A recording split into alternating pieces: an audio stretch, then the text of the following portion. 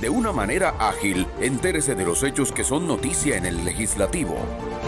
En podcast, Voces del Senado.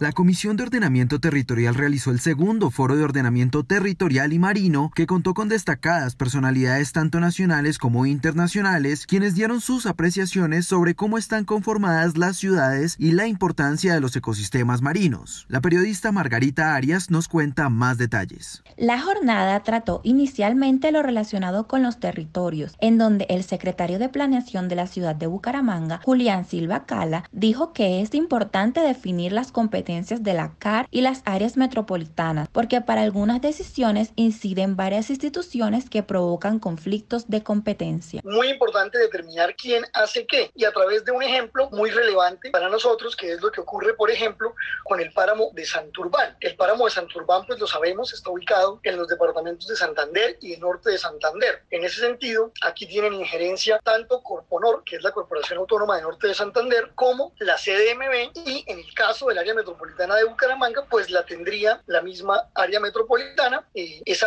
agua que, que, nace en el páramo de Santurbán y desemboca en el río Magdalena termina involucrando incluso a Cor Magdalena. Posteriormente se abordó lo relacionado con el ordenamiento marino, donde se precisaron temas de conservación, pesca y forma de mantener nuestro lecho marino sano, teniendo en cuenta que nuestro país es muy afortunado al tener dos mares. De allí que Gisela Paredes de la Unidad de Parques Nacionales manifestó los avances que desde esta entidad adelantan en el tema de ecoturismo y pidió que no se abandone la pesca artesanal para mejorar el uso hidrobiológico. Quisiera decir que como política pública y como proceso social tenemos que escuchar a los territorios. Mire lo que los avances que nos dijo la gente en Carmen del Darién sobre lo que debería ser la política general de ordenamiento territorial. Yo quisiera que todos nosotros pasáramos de la palabra y al discurso y como ellos dicen, oiga, la palabra debe valer para algo. Y si nosotros empeñamos nuestra palabra y nos comprometimos, tenemos que escuchar porque eso nos va a permitir ser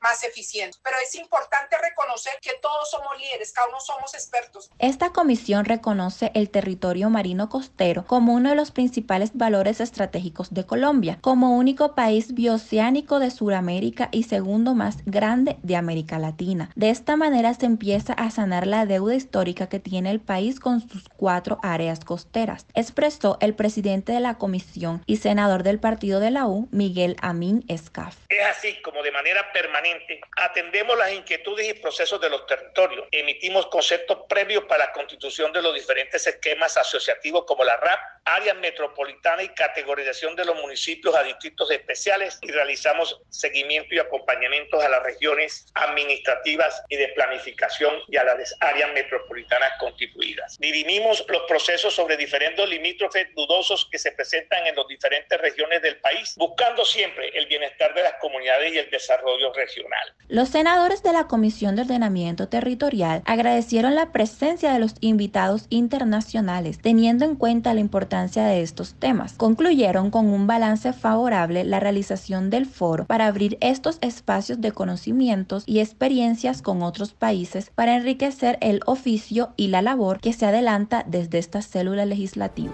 En podcast Voces del Senado, Margarita Arias.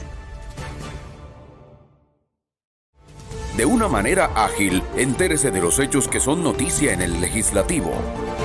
En podcast Voces del Senado.